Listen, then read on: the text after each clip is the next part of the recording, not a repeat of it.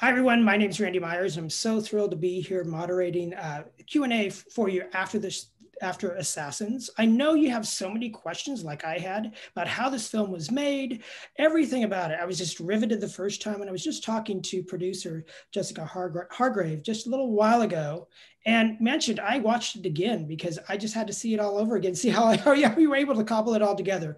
So it's quite a pleasure to have both here. We're going to start with Jessica Har- Hargrave, the producer, and then we're going to have Ryan White, the director. They have been collaborating collaborating together for quite some time now and have won um, won awards in the process. Welcome. Thank you. Thank you.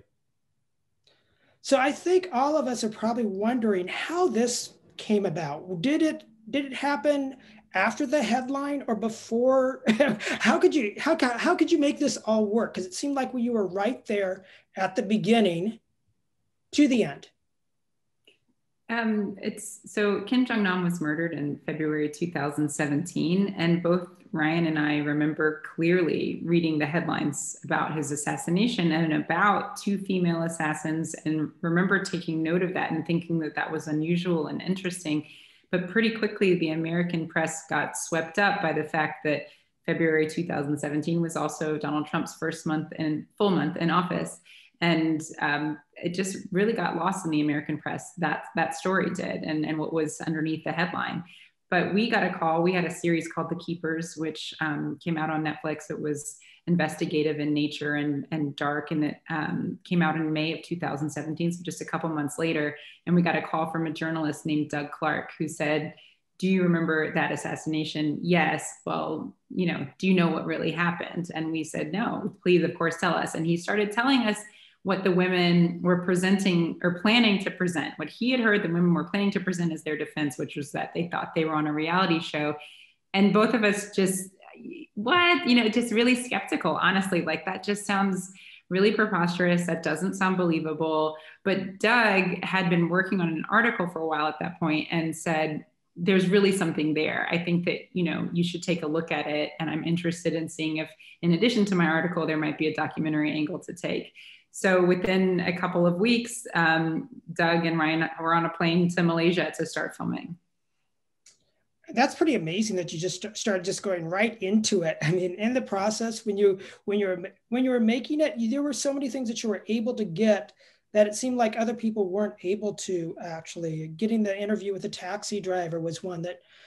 How you found that person? Uh, did that take a lot of legwork, or did these some of these things just sort of happen while you were doing doing that? Uh, it's a little bit of both. Um, I think uh, Doug, the journalist that Jess mentioned, he had done a lot of legwork before we arrived. So the idea that we just landed on the ground and already had access to some of like the main sources from you know, from behind the scenes in this story was was rare as a documentary filmmaker to have that uh, to have that opportunity. The difference being people that had participated in Doug's article, once there's a video camera there and the word movie is thrown around, adds a whole different level of the fear factor to people. So um, you mentioned the taxi driver, John, who actually was not included in Doug's article, but Doug had gotten access to him and had gotten him to agree to participate in the film. And I'll never forget the night when we were supposed to interview John and we were in um, a mall in Kuala Lumpur at like 2 a.m., 1 a.m., something like that. Um, and we're supposed to meet with John uh, at a coffee shop. And he came, um, it was just Doug and I having a coffee. Our cameraman was outside. Uh, he came to the door and looked at us and just got totally spooked and started sprinting out of the mall. Mm-hmm. And Doug, being the very aggressive investigative journalist that he is, chased him uh, and chased him down. And John was jumping in his taxi and trying to drive away. And John, uh, Doug jumped jumped in the front seat with him and sort of talked him off the ledge. And you know, 30 minutes later, he brought John back in the coffee shop, and John had come down, and John agreed to be filmed. So of that type of stuff that felt like we were living in a spy movie or something where people understandably were totally spooked about putting their face or name as a source on this story you know and we felt that firsthand too as the filmmakers everyone knows uh, the North Korean regime is very dangerous when it comes to cybersecurity, if not physical security as well. So we were kind of all, always um, watching our backs in some ways, or, or a little a little paranoid about who might be watching us or who might be following us. So that that sense of of uh, of dread was kind of there the entire time we were making the film. Well, that's what I was thinking about too. I was what was just thinking back to the interview with uh, Seth Rogen and James Franco and everything that happened with that. Was there ever a point when you were making this that you did feel like you were getting pressure from outside forces uh, that did not want you to make this film? There, we were always aware of the threat, certainly. And so we met from the beginning with people who were trained in security and in consulting in this way so that we could protect ourselves uh, as much as possible. Although we were told by them, it's not a it's not an if it's a win in terms of how these things operate. Like you can't protect yourself entirely from a threat like a like the North Korean regime if they decide they're going to come after you. So we did the best that we could to protect ourselves in terms of you know we used burner computers when we needed to. We kept all of our computers off of the internet that had access to the project so that they were completely isolated, air gapped and isolated from each other. We used paper documents more than we ever had in the past um, and secure forms of communication. Um, so we tried to build up a barrier as much as we could uh, around the project to protect ourselves. Did we get weird emails? Yes. Did we have things that we were unsure about their sources? Yes. Um, do I know for sure that all of those were innocent, you know, happenstance? No. Um, but it's just really difficult to, to pinpoint exactly what's going on. So the best that we could do was protect ourselves as much as we possibly could and be smarter about that stuff than we've ever been in the past and smarter about and more proactive about trying to be protected.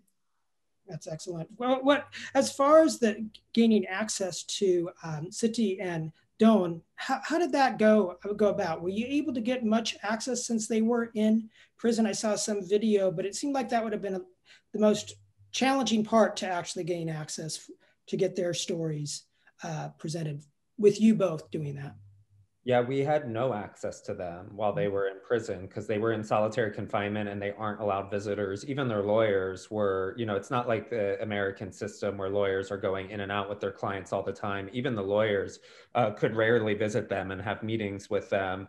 Um, and so they were complete mystery figures to us in that sense, which is, um, you know, if the audience has seen the film now, which is how we edit the film, you know, at the beginning they appeared like femme fatale um, Black Widow killers. That's what the world thought of them. And our film is kind of that slow burn in revealing who they are in the same way that we started through our own investigations, um, understanding who they are. So, you know, obviously we had access to them in the end after they were released from prison. Um, and that wasn't an easy uh, ask by any means because these were two women who had just been tricked by a film crew. Mm-hmm. And had almost ended up dying because of it um, in multiple ways from the VX and from the death penalty. And suddenly they're released from prison and they're back in their hometowns and they have another film crew coming to them saying, Trust us, you know, we're taking care of your story. You can believe us. And so that that took a lot of jumping through hoops. It wasn't easy to get um, both women to participate. We were lucky by that point because we were a couple years into the film that both their legal teams and their families knew us very well because we had spent a lot of time with both of them. That two circles of people that both women trusted were vouching for us and saying like, no, these are these are good guys. They're not, you know, they're not uh, out to get you.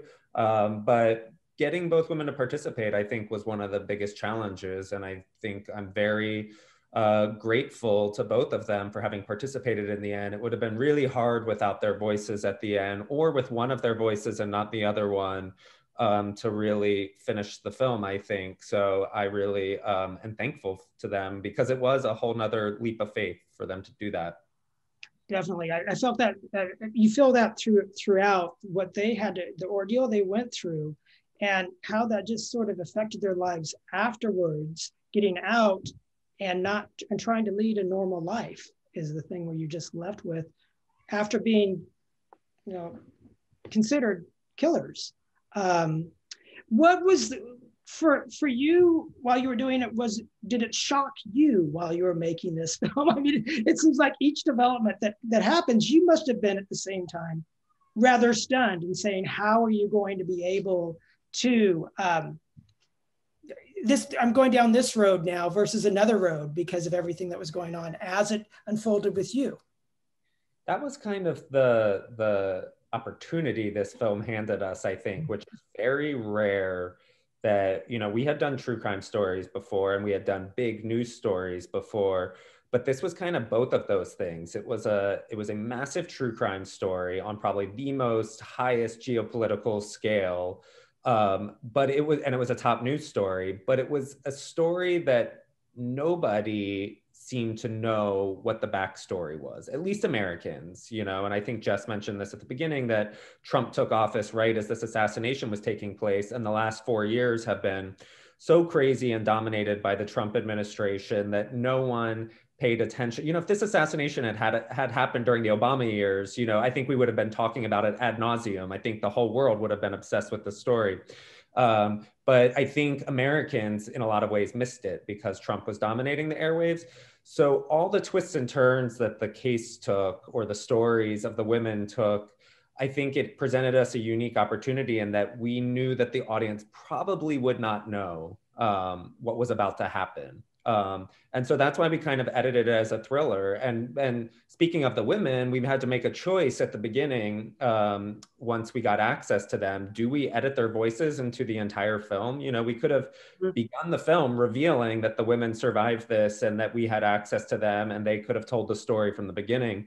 Um, but we wanted it to be, you know, sort of an edge of the seat, edge of your seat thriller, just the way we had experienced it, because yes, to your question, this took so many shocking twists and turns that it, it became difficult to keep up with. Um, and so we, I think our editor, Helen Kearns and her team did an amazing job making that make sense to an audience because often it was completely nonsensical while we were living it.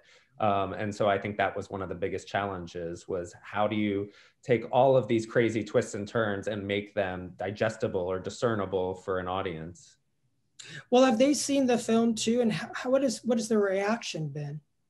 The film has not come out in their countries yet, so it's being um, translated right now. But it is it is coming out in Indonesia and Vietnam, so they will they will be seeing it soon. Um, I think both of them are very um, I don't know what the word for it would be. They're they're sort of very removed from the spotlight now. Um, you know, it's crazy because the year of coronavirus happened in between this. So we forget how much time has elapsed since they were released from prison and a very isolating time. So I think both women, in a lot of ways, have been able to, I wouldn't say they've resumed their normal lives, but they've been able to kind of um, disappear back into anonymity um, in a way that they both wanted. That, that, from the moments I met them, I could tell they both did not want, um, you know, and ironically for Doan, who had spent you know a decade chasing fame. By the time i met her she really did not want anyone knowing who she was anymore. Um, and in fact she wanted no one knowing who she was. Mm-hmm. uh,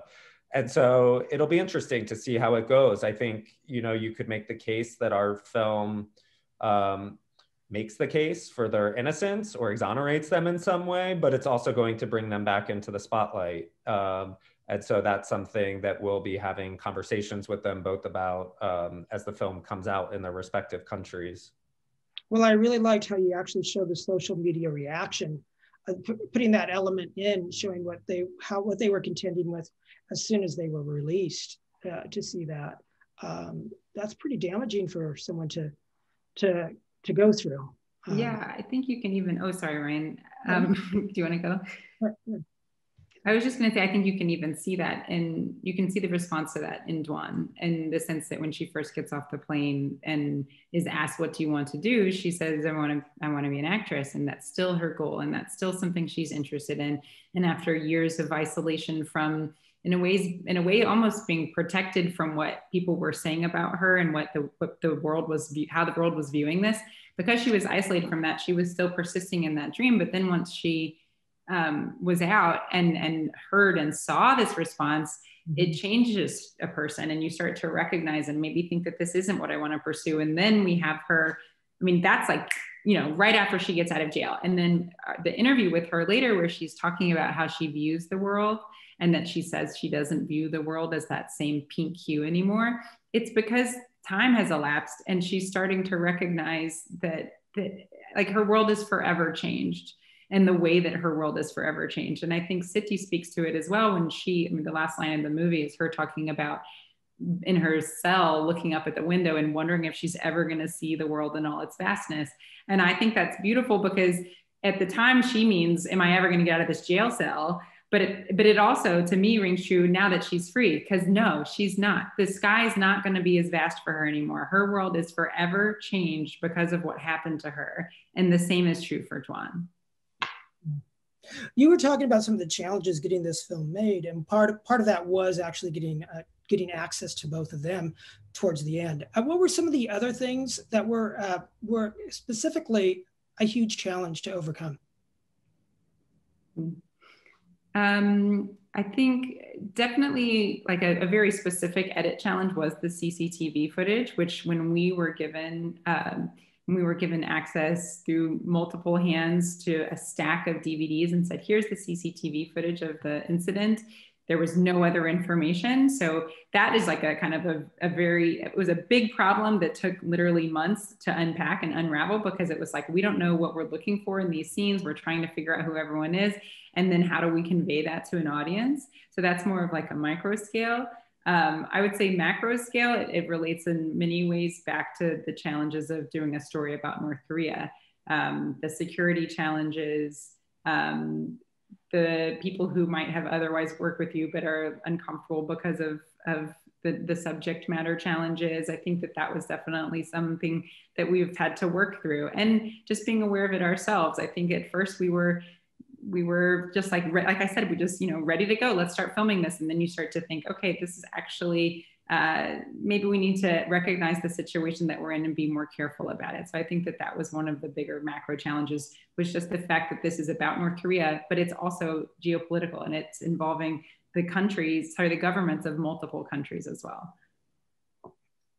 And you two have worked together. You've collaborated for many great uh, documentary series, from The Keepers on Netflix to just recently um, doing doing Visible out on television for Apple TV Plus.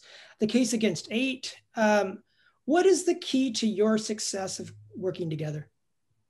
Well, we've been working together since we were 12 years old. I love it. So I guess the answer would be longevity. Uh, you just named projects for the last five years, but it's been decades um, in the making. Yeah, we grew up together. Uh, so we were making films when we were in sixth and seventh grade that um, were sort of the foundation of what of what we do now. Um, you know, I think documentaries are a very interesting career path because when we were joining the workforce, it was supposed to be you know, sort of this vow of poverty. And it was seen as sort of the, the direction you go in if you never want a life of success or money or popularity. Um, and we that's been proven wrong over the last you know the last 15 years so um, for us i think we're just so thrilled that we can actually make a living doing this career and that we can actually make you know at the beginning in our 20s we were making one film at a time and doing side jobs and it, they took many years and you know i was shooting and editing them myself.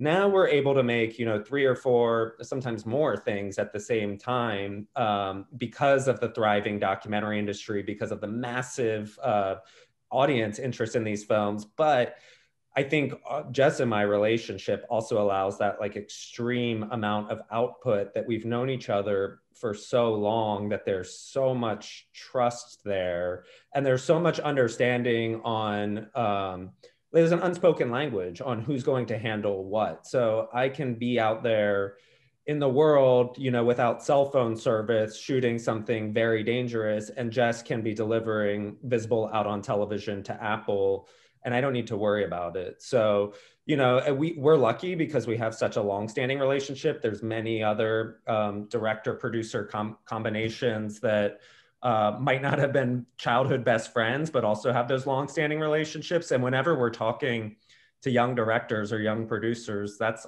one of our first pieces of advice is like find someone with that other talent, find a producer talent or find a director talent, whichever one you don't have, and partner up with that person. Because once you find that that partnership, then then you can um, achieve and output so much more than you could on your own. And are you, uh, you uh, have just one last question for you. And uh, are you seeing that there are more, uh, there's more interest in documentaries, particularly now, because there's access that you can get those films so much easier than what you used to be able to because of being sort of not more in a lockdown mode where they they are you're it's becoming more apparent there's so many out there for the general public yeah i mean we we were we were in the top 10 films on iTunes this weekend, and that's a documentary. You know, I don't think, but besides a handful of documentaries, you know, 20 years ago that really broke through in a big way and kind of paved the way for the abundance of documentaries now, that wasn't that wasn't happening. So um yeah and i mean the the the the boom of the streaming platforms and the and the series i mean assassins is a film but we've made many documentary series that have probably, you know, The Keepers is by far our most popular thing. That was seven parts. Like the idea that audiences are sitting down in their living rooms to watch, you know, a seven or eight hour documentary is is mind blowing. That wasn't that wasn't even, you know, a possibility when we were coming out of college and joining the workforce of documentaries. We were making, you know, 90 minute films tops. Uh, so the the the boom that we've seen over the last couple a couple years is very very exciting. I think. Do you agree, Jess? Yeah, it's very exciting. We're very lucky to have been a part of that, and it's timed well for us. So as we've been able to take more on, audiences have shown more interest, which is great. So is that something that you'd like to pursue again? Is doing a long format where you're actually into a docu series? We're always doing both. Yeah. Uh, yeah. You know, it's it kind of depends on whether we feel the story demands it. And Assassins is a great example where we had many meetings um, at the beginning where where companies wanted to make it into a series um, because there's more money there and there's more eyeballs and there's more real estate on the streaming services if they can supply eight hours instead of 90 minutes. But we were pretty hell bent from the very beginning that uh, Assassins was a stronger three act film than it was um, stretching it out unnecessarily. But yeah, I mean, if the if the story if the story demands it, we're always open to the series format. It's a very very exciting uh, new way of getting to tell our stories. So we're definitely going to continue doing both and and short films. You know, all three are are different ways to tell different types of stories. It just depends on on what the demand is. Well, thank you too so much for taking the time out. As I said, this is one of my favorite documentaries of, of 2020 and going into 2021 now because, I, because I watched it again. Uh, thank you for taking the time. It's, it's a pleasure to talk to you and continued success in all the things that you're doing and you're bringing to us to illuminate the world in so many different ways. Thank you so much. Thank you. Appreciate it.